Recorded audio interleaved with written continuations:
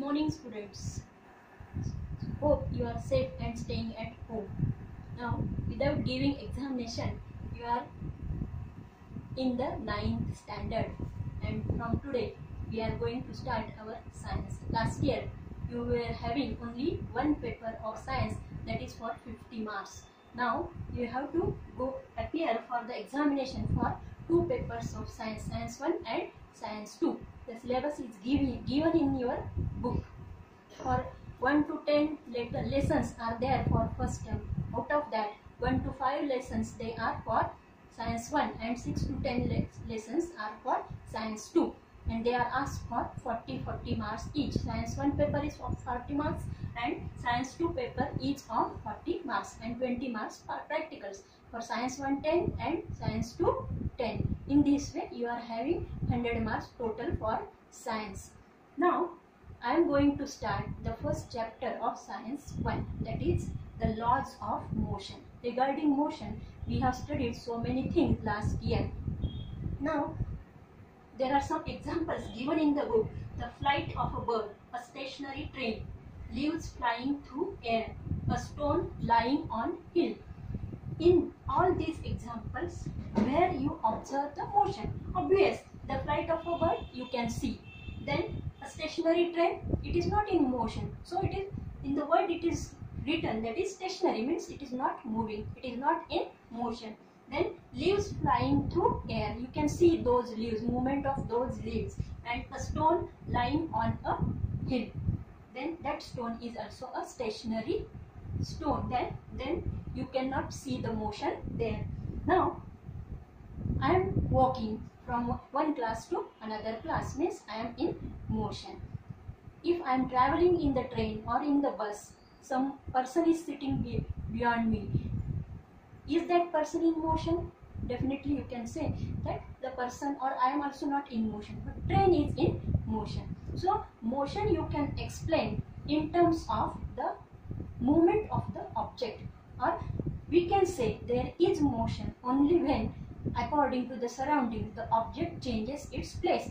Object goes from one place to another place. Then we can say that the object in is in motion. So when any object is in motion or it is in moving means from going from one point to another point it travels or it covers some distance from one point to another point. point. One example is given every day you come to school that you know very well then here also Sheetal and Prashant they are brother and sister. Prashant goes directly to school. But Sheetal, what does she? She every day goes to Sangeeta's house. And after going to Sangeeta's house, both the friends, they go to school. Means, actual their aim is to go to school. They are all moving. These three persons or three friends, they are moving. But Prashant has covered how much distance?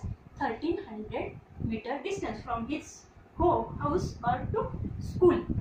Then Sheetal goes from her house to Sangeeta's house. How much distance it is? It is 500 meter. And then both these friends they go to school. Means that distance is 4 1200 meter or she has covered or both these friends they have covered the path of 1200 meter. That is the length of the path is 1200 meter. But Sheetal now see all these three are going to school. Sheetal covers 500 meter first and then covers 1200 meter. Means from her going to school, Sheetal from, from her home, she covers 1700 meter distance. But actually from her home, the distance of the school is 1300 meter and Sangeeta has covered the distance of 1200 meter. Maximum distance is covered by Sheetal from her home to Sangeeta's home, then to the school. And Prashant directly goes to school. What is their starting point? From the home to the school. But in this example, Sheetal has covered the more distance. But the point between the two is the same. Initial point and the final point, they are same but Sheetal has covered the more distance that is 500 plus 1200 meter. Now there is distance and displacement concept in the science. Distance means actual path covered from one point to another point. What is the length of the path that is covered from one point to another point? Means actual path from Sheetal's house to the school is 1300 meter. From Sangeeta's house it is 1200 meter. But Sheetal as she goes to Sangeeta's house, she has covered 1700 meter distance. Now, distance, you write down the definition. It is the length of actual path travelled by an object in motion while going from one point to another point. That is the distance. Here, Prashant has covered 1300 meter distance Sheetal has covered 1700 meter distance and Sangeeta has covered 1200 meter distance. That is the length of the actual path. That is called the distance. Then another concept is there that is the displacement. All these three fellows that is Sheetal, Prashant and Sangeeta they are going to school. Means from Sheetal's home or Prashant's home the distance of the school is 1300 meter. Means if they go directly, Prashant and Sheetal directly go to school, the displacement will be only 1300 meter. And Sangeeta's displacement for, from her house to school is 1200 meter. That is the minimum distance between the starting and finishing point. From the starting point, it is 1300 meter for Sheetal and Prashant and for Sangeeta, it is 1200 meter. That is just the this difference between the distance and displacement. You can say that suppose one more example I will give you.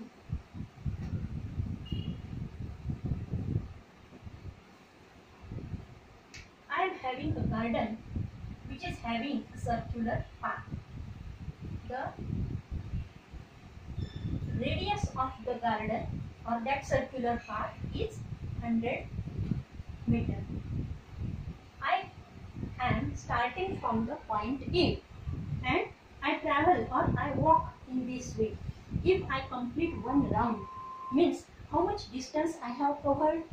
I have covered how much distance that you have to calculate that is the circumference of the circle or cir circular path in the path.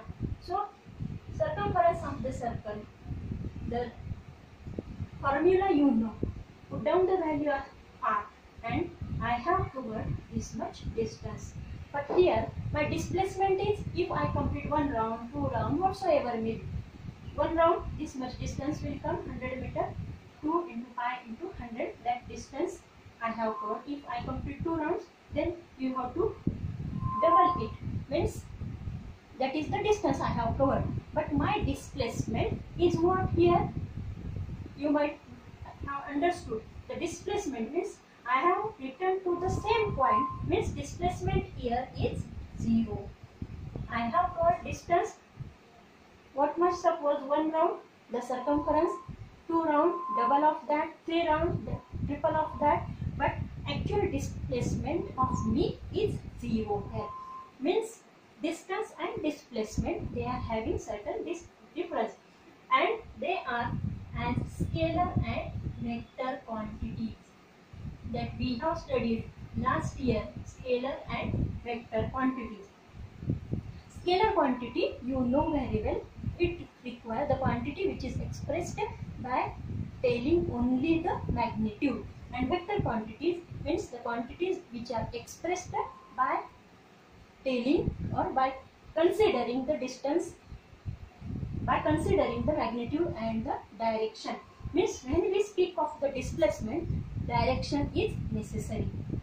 But when we speak of the distance, there is only the magnitude, how much length of the path I have covered. That is the distance. But displacement requires the direction. So they are called the scalar and vector quantities. Now, the speed of the object. One more example also we can take here. Suppose a car. Here is a car that is going straight in this direction. Again, as it is going in this direction, it is returning back in this direction. Suppose this distance is 200 meter the car, car goes from point A to point B means from point A to point B it has covered 200 meter distance. But from point B again it is returning back. Means again 200 meter distance it has covered. Means length of the actual path covered by the car is suppose 400 meter. But when we speak of the displacement here displacement is zero. Now the speed of the object speed and velocity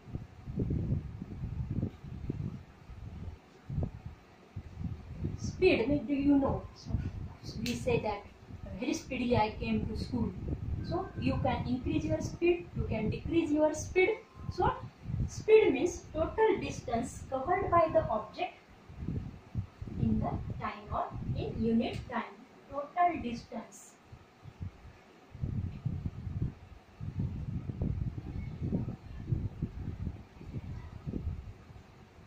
Covered or you can write anything. Divided by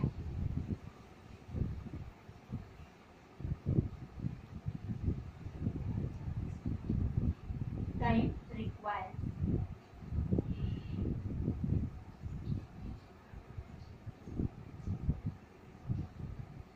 So speed of the object car anything you can take the object which is in motion if we want to calculate the speed of the that object in motion then you have to calculate how much distance it has covered in the given time. Suppose this car requires 5 minutes or 10 minutes you can take for 200 meter from point a to point b. Then again from point a b to point a it has taken again 10 minutes. Means total for 400 meter distance it has taken 20 minutes or it requires 20 minutes. So that is the speed of the car. But when we speak of the velocity, means again I have told you distance is the scalar quantity, displacement is the vector quantity.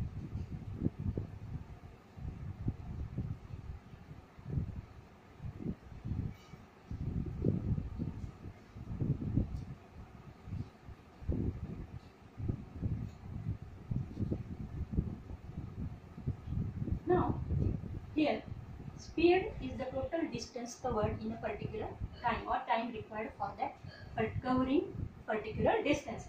Velocity requires the direction. In that particular direction, how much time it requires, that is called the velocity. So, velocity is displacement upon time.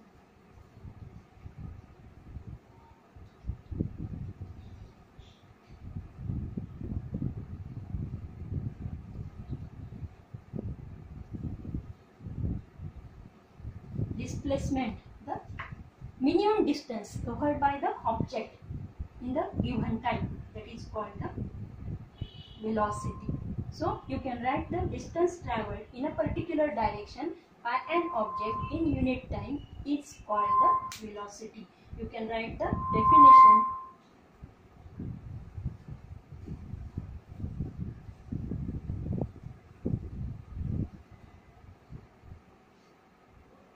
the distance traveled in a particular direction by an object in unit time is called its velocity. So speed is total distance covered in given time and velocity is displacement upon time. The unit for distance and displacement. So on suppose sorry speed and velocity the unit is because the length of the path has covered. So in a unit will be the same for speed and velocity. That is SI unit you can say. Last year you have seen SI means standards of international. The unit SI unit for speed and velocity is meter per second and CGS unit is centimeter per second. So you might have understood what is the difference between distance and displacement. May be asked for writing the differentiation between distance and displacement. Distance is a scalar quantity, displacement is a vector quantity. speed is related to distance, velocity is related to displacement.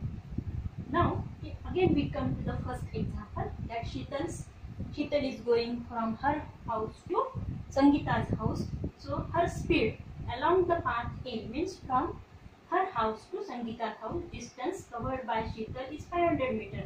In how much time it, she has covered that distance in 5 minutes. So, the Sheetal speed is 100 meter per minute. Now, Sheetal speed along path B means from Sangeeta's house to school. She has taken 24 minutes to cover that distance. Means the speed of Sheetal is 50 meter, 50 meter per minute. Then average speed. Average speed you have to calculate accordingly that total distance. How much total distance she has covered? She has covered 1200 plus 500 meter distance. Means it is 1700 meter distance she has covered. In how much minutes? 5 minutes plus 24 minutes means 29 minutes. Then her speed from her house to school that is 58.6 meter per minute. Now velocity. What is the velocity means displacement upon time. Actual displacement or minimum distance between her house and school is 1300 meter. So displacement upon time that is Sheetal's velocity is 44.83 meter per minute. So in this way you have to calculate speed and velocity. Now today we'll stop here and next point we'll take to tomorrow.